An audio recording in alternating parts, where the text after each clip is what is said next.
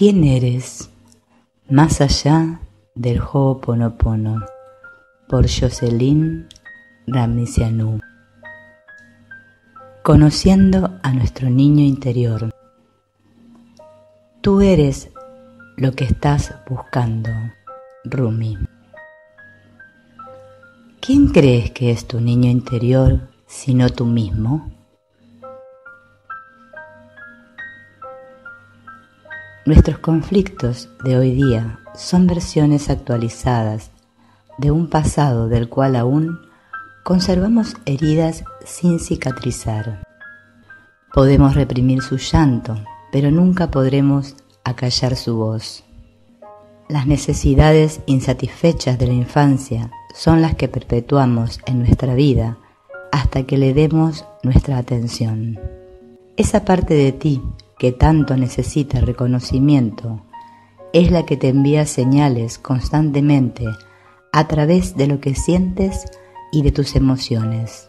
Cada vez que te sientes triste, cada vez que algo anda mal, que tienes miedo o tal vez estés juzgando alguna situación o alguna persona, es tu niño interior quien está al mando.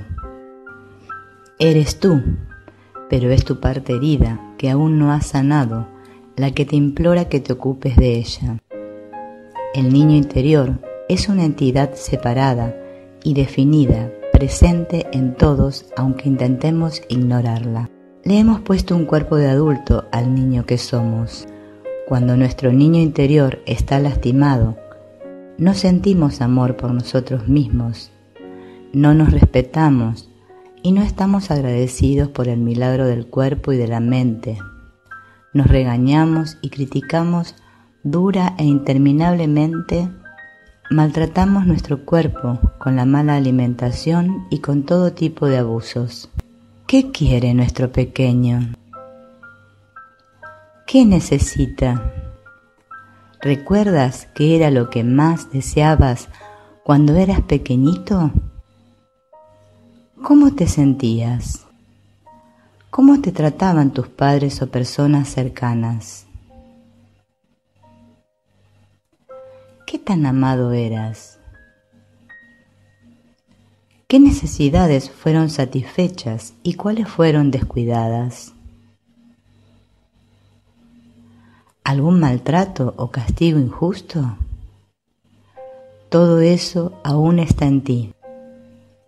Cuando de niños se vive el abandono, el maltrato o nos avergüenzan, tendemos a olvidar, a bloquear, como si nada de esto nunca hubiera existido ese niñito que fuiste aún existe en ti. Para Él no existe el tiempo, ni el pasado, ni el futuro.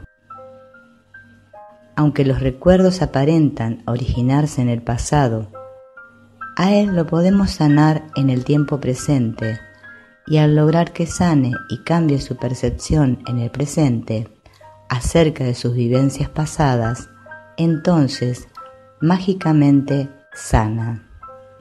El niño que fuimos, para quien la vida era simple y divertida, no se fue, solo está escondido. Él aún está allí esperando jugar, compartir, sonreír.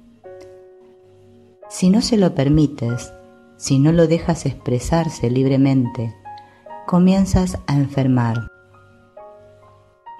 ¿Qué ocurre con el niño pequeño que se siente inadecuado por falta de aprobación, por no llenar los requerimientos y expectativas de sus padres? Se cierra ante la vida, se siente solo, triste, abandonado, desvalorizado, desaprobado y toma una serie de decisiones inconscientemente que luego se van a reflejar a lo largo de toda su existencia. La energía del dolor de ese pequeño quedó estancada en el pasado y en la vida actual.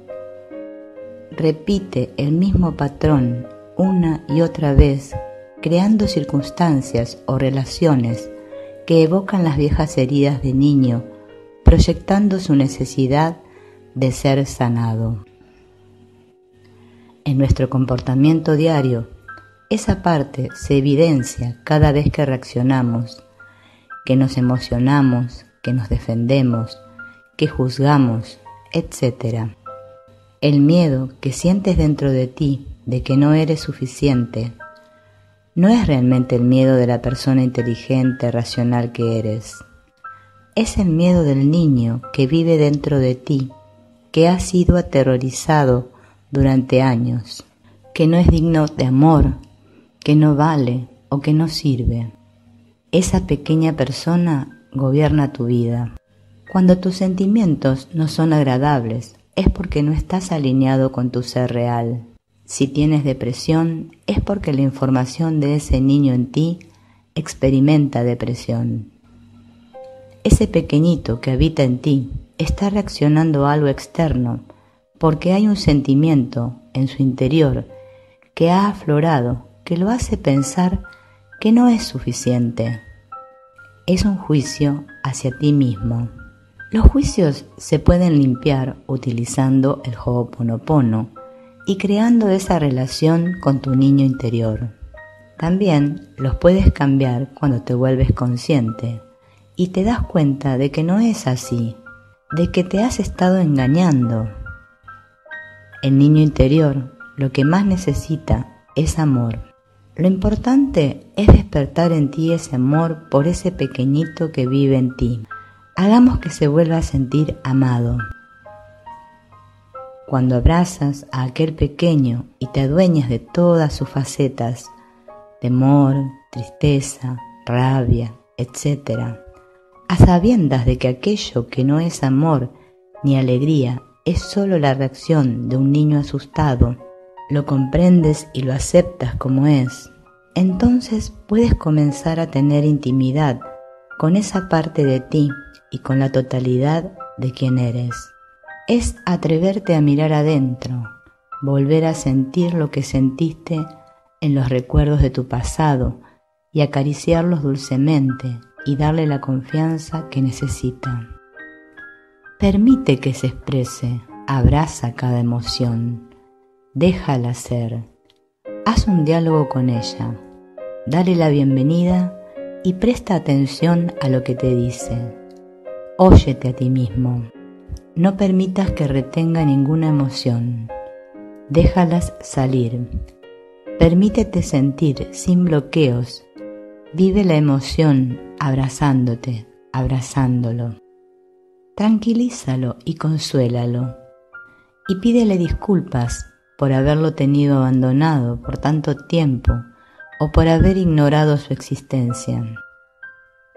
Para poder cerrar una sanación completamente, es importante llegar a perdonar.